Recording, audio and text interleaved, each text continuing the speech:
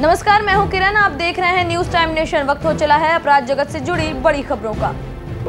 सुल्तानपुर में मोतीगरपुर पुलिस ने हत्या में नामजद पाँच आरोपियों को पासरपट्टी के खैरहा मोड़ से गिरफ़्तार किया है। आपको बता दें, बीते मंगलवार को दियरा गाँव के कब्रिस्तान के बगल नाले के पास मृतक का शव मिला था, जिसके शरीर पर काफ़ी चोट के निशान भी थे।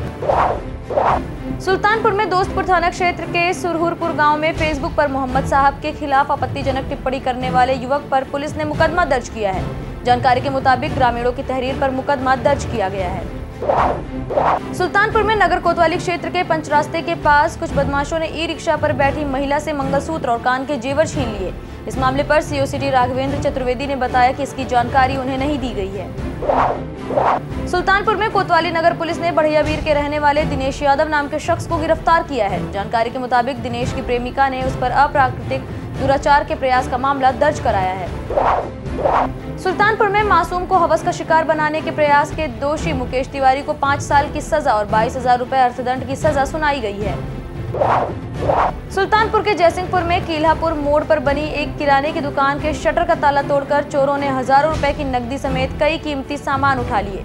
पीड़ित ने चोरों के खिलाफ कोतवाली में तहरीर देकर कार्यवाही की मांग की है।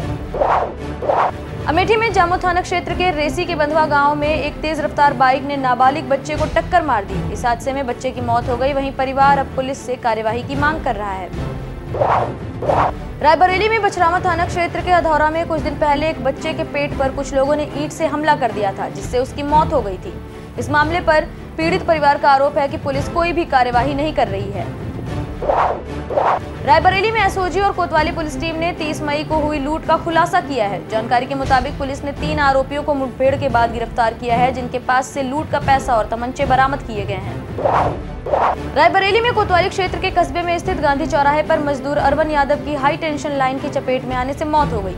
जानकारी के मुताबिक मृतक मशीन खोलने के लिए ऊपर चढ़ा था, जहाँ ये हादसा हो गया। रायबरेली में बस स्टेशन पर बैंक कर्मी विनीत सक्सेना की मौत हो गई। पुलिस ने इस मामले में जहर खुरानी की संभावना जताई है, क्योंकि उनके पर्स, मोबाइल और ज़रूरी कागजात गायब हैं। प्रतापगढ़ में धड़ल्ले से अवैध खनन चल रहा है। आरोप है कि पुलिस चौकी कटरा गुलाब सिंह के चौकी प्रभारी को इसकी जानकारी है, पर वे इस पर कोई भी कार्यवाही नहीं कर रहे हैं। बहराइच के ढोड़ेपुरवा गाँव में एक युवक ने शराब के पैसे न मिलने पर अपने पिता की हत्या कर दी। जानकारी के मुताबिक युवक ने अपने पिता पर हंसिया से कई बार किया, जिससे उनकी मौत हो गई। गाजीपुर में शादियाबाद थाना क्षेत्र के परेवा गाँव में रामविलास यादव के पैतृक आवास पर विजिलेंस की रेड पड़ी है। आपको बता दें, रामविलास यादव उत्तराखंड में अपर सचिव हैं और उन पर आय से अधिक संपत्ति का आरोप लगा हुआ है। गाजीपुर में करंडा थाना क्षेत्र के बापू राम नरेश इंटर कॉलेज के संचालक रजनीश यादव का शव कॉलेज के बाहर पड़ा हुआ मिला। फ़िलहाल पुलिस मामले की तफ्तीश में जुट गई है। कानपुर में हुए बवाल के मास्टरमाइंड हयात ज़फ़र हाशमी के करीबी बिल्डर की बिल्डिंग को ध्वस्त किया गया है। पुलिस का कहना है कि बिना नक्शा पास कराए ही बिल्डर मोहम्मद इश्तियाक ने बिल्डिंग बनाई थी, जिस पर ये कार्यवाही की गई है। आपको ये खबरें कैसी लगी, हमें कमेंट सेक्शन में ज़रूर बताएँ। अगर आप ये खबरें फेसबुक पर देख रहे हैं तो वीडियो को लाइक करके पेज को फॉलो करें। साथ ही अगर आप इन खबरों से यूट्यूब के ज़रिए रूबरू हो रहे हैं तो चैनल को सब्सक्राइब करके बेलाइकन दबाना बिल्कुल ना भूलें। नमस्कार।